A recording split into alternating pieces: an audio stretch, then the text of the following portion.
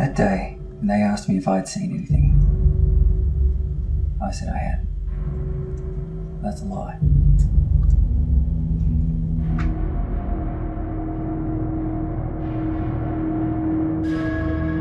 I guess it was like a week before my and I just had a major fight with um, you know.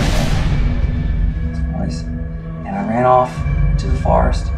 This time I ran out a little bit further, you know.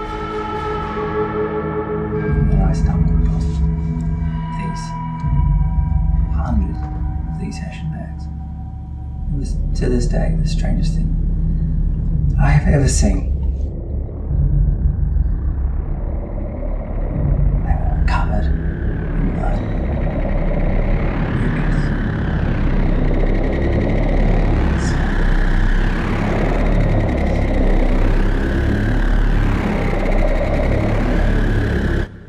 So I opened one up, and inside was